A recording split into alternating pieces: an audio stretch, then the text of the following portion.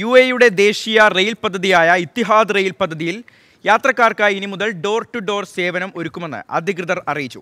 Ittihad train യാത്രക്കാർക്ക് അതത് സ്റ്റേഷനുകളിൽ നിന്നും വീടുകളിലേക്കോ അല്ലെങ്കിൽ മറ്റു കേന്ദ്രങ്ങളിലേക്കോ യാത്ര ചെയ്യാൻ പൊതുവാഹന സൗകര്യമാണ് ഇങ്ങനെ ഒരുക്കുക.